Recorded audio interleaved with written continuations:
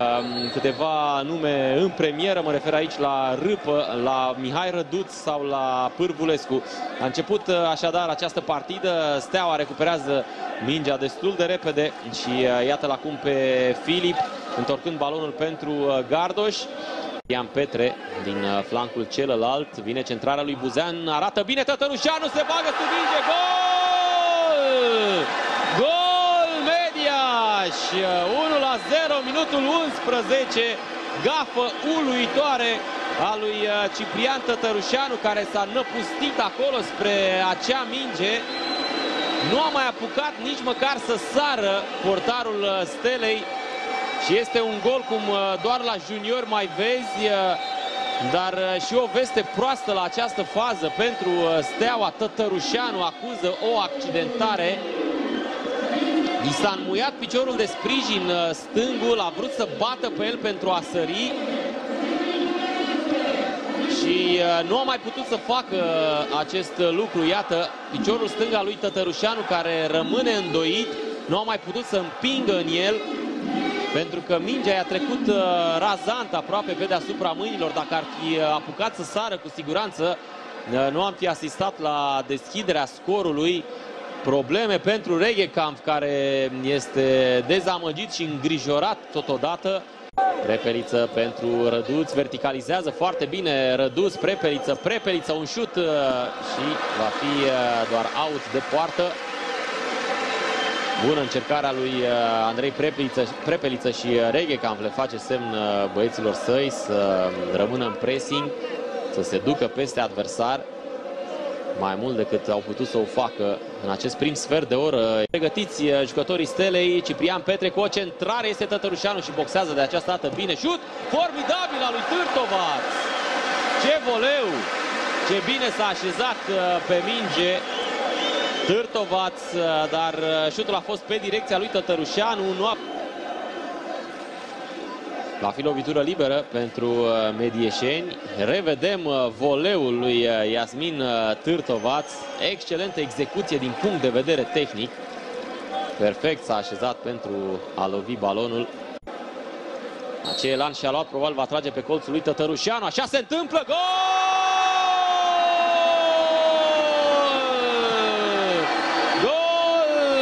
Metan, 2 la 0, minutul 28. Steaua Groghi la Mediaș. Nu a avut niciun șut pe spațiul porții până acum echipa antrenată de Laurențiu Reghecamp. Robertson vede cartonaj galben pentru că și-a scos tricoul și este eliminat, dacă am văzut eu bine. Pentru că tot el mai avea un galben, gazul va juca în 10. Ce prostie din partea lui Jordan Robertson. Dulcaș își pune mâinile pe cap. Incredibilă răsturnare de situație totuși. Gazul va trebui să joace în 10 oameni, uh, mai bine de 70, uh, mai bine de 60 de minute. Revedem execuția lui Robertson pe colțul lui Tătărușanu pe jos. La această fază vine centrarea lui Cristea, destul de mm, bună. Pintili recuperează, încearcă o uh, centrare, lovitură cu capul al lui Prepeliță pe lângă poartă. Tatuș Iancu îi reproșează lui Prepeliță că nu a recentrat această minge. Cei doi se aflau uh, singuri, singurei în fața porții. Revedem întreaga acțiune. Mai întâi lovitura liberă executată de Cristea și acest balon trimis inteligent de Pintili. Mut rămâne în spatele coechipierilor săi. Tili a plecat Pârvulescu. Bună această pasă. Pârvulescu în careu. Trage Pârvulescu. Pe lângă poartă este corner. Minge se pare deviată cumva de Miloș Buhta. Ocazie uriașă pentru Steaua de a reduce din diferență. Colțescu foarte bine plasat. Ia să vedem aici, da, piciorul lui Buhta respinge mingea în corner, râpă cu o centrare, balon respins de Mut. Prepeliță câștigă acest duel cu uh, Petre, centrarea lui Prepeliță pe bara a doua, vine Iancu și uh, este doar out de poartă.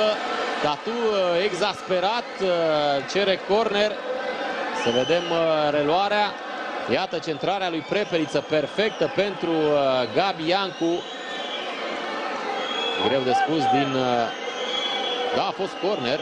Mingea a fost deviată de portarul Mediașului, de Miloș Buhta.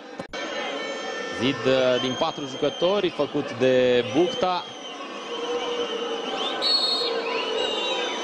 Vine șutul lui Iancu, însă peste poartă, puțin rigid la această execuție, mijlocașul Stelei. Nu au fost arătate de la margine minute de prelungire pentru această primă repriză. Popa, Adi Popa intră în careu, Popa, Popa în continuare, trage Popa, slab, minge degajată, Iancu din prima și pe lângă poartă. Incredibil cum s-a dus această minge. Revedem faza creată de Adi Popa. Nu reușește să degajeze Tahar și Iancu din întoarcere foarte aproape de, de poartă. Era bătut uh, Miloș Buhta. Începe cu multă energie Steaua această repriză secundă pentru acel post. Ar mai fi Mihai Costea, dar el nu se pretează la un astfel de joc. Trage Pintili, uh, printe Buhta.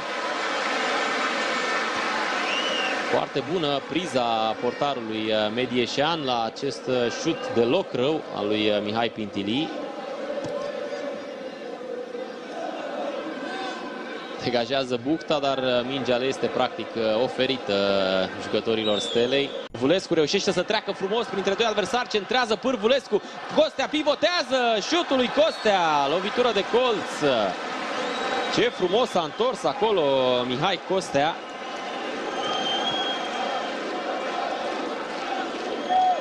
Excelentă cursa lui Paul Pârvulescu în flancul stâng.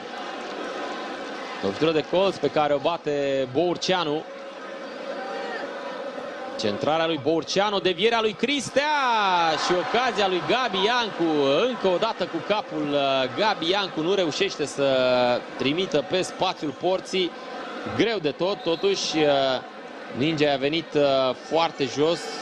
Nu prea avea cum să controleze lovitura, mai degrabă mingea l-a lovit pe el în cap. De Filip, uh, o diagonală care arată destul de bine, preluare grea pentru Adi Popa care reușește să centreze Iancu cu capul și Bufta face un meci mare în această seară. A intrat bine în minge Gabi Iancu și de această dată O minge acum pentru Pintilin, poziție regulamentară, centrare pe bara a doua, respinge Zaharia, șut și este gol!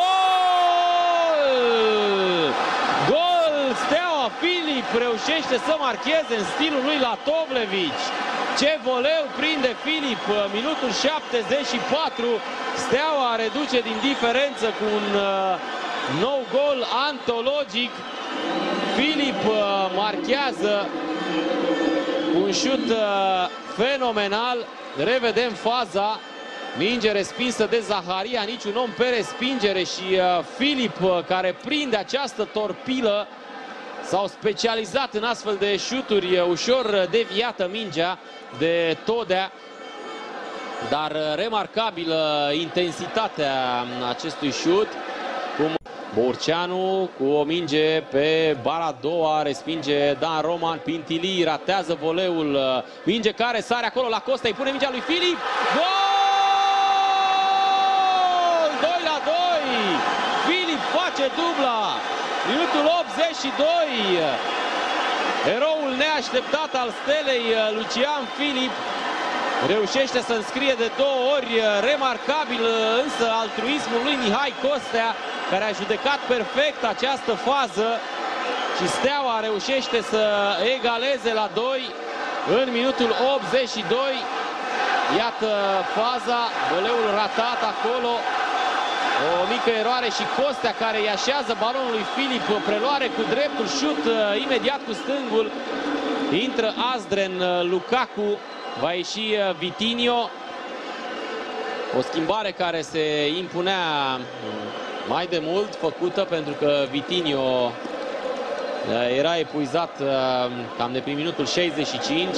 De contraatac pentru Medieșeni, degajarea lui eh, Buhta spre Lulacu, poziție regulamentară lui Dan Roman, Dan Roman, Roman în poziție bună, Roman și Cârvulescu reușește să îndepărteze mingea, Roman fuge după Sebastian Colțescu și îl ceartă de mama focului și vom avea acum reluarea, poziția este regulamentară a lui Dan Roman care s-a chinuit să-și facă acolo preluarea și uh, este penalti pentru că nu a dat în minge Pârvulescu, ci Dan Roman a fost cel care dă acolo un balon. Apoi cu piciorul pe care face alunecarea, Pârvulescu la gață și uh, Roman a știut să amplifice această intrare.